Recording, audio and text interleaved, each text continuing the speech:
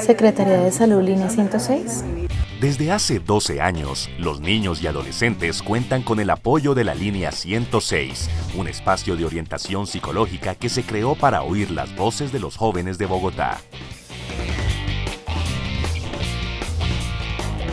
El equipo de la línea 106 del gobierno de la Bogotá Positiva está conformado por un grupo de profesionales que se convierten en el apoyo incondicional para todos aquellos niños y niñas que lo necesiten. La línea 106 tiene un proceso a través de los hospitales de primer nivel con el plan de intervenciones colectivas en cada uno de los hospitales de todas las localidades.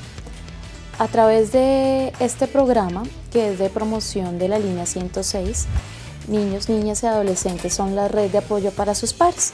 Ellos allí desarrollan estrategias de comunicación, también estrategias que no solo hagan visibilizar a la línea 106 como el apoyo para ellos, sino también ellos se convierten como en ese apoyo del cotidiano donde pueden hablar acerca de sus necesidades estos chicos. Apoyo que necesitaba Efraín, un joven de 23 años que desde los 15 conoció la existencia de la línea 106.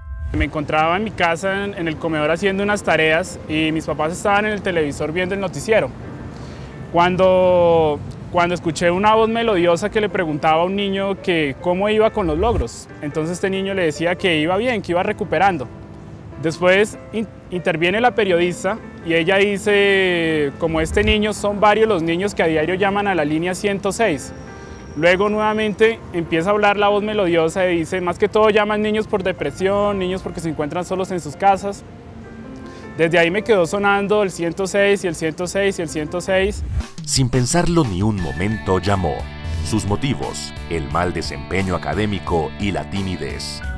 Entonces ellos daban como pautas y así y le iban haciendo como un seguimiento a uno, ¿sí? Cuando uno volvió a llamar como a la semana o los 15 días, ¿qué hubo? ¿Cómo vas? Al fin, ¿cómo te fue con el profesor? ¿Cómo te fue con la tarea? ¿Cómo te fue con el trabajo? Entonces, así más que todo era en, en, en cuestiones académicas, ¿no? Porque también pues se habló y se trató de muchos, otros, de muchos otros inconvenientes más. Ahora el agradecimiento es total y aún sigue en contacto con las personas de la línea. Me parece, me parece, me parece que fue una excelente idea puesto que muchos jóvenes se encuentran en la situación en la que yo me encontraba hace ocho años y pues la verdad no tienen algo así como una orientación sensata. No, no son, digamos, capaces de, dirigirse a la psicóloga de sus, de sus respectivos colegios. ¿sí? Entonces, pues inicialmente lo hacen por teléfono, que es como, una, como es, es como una gran forma de dar ese primer paso para solucionar los problemas y pues para que te los ayuden a solucionar también. La línea 106 del gobierno de la Bogotá Positiva está lista para escuchar a todos aquellos que necesiten hablar con alguien, incluyendo a quienes no tienen teléfono. Hay otros dos, dos medios de comunicación que se utilizan acá en la línea. Está el buzón de la línea 106 que funciona, hay 23 buzones en la localidad de Sumapaz que están ubicados en las sedes de los colegios distritales.